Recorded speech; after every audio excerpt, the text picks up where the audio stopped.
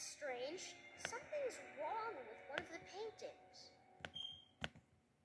As you've discovered, not everything in the castle is as it seems.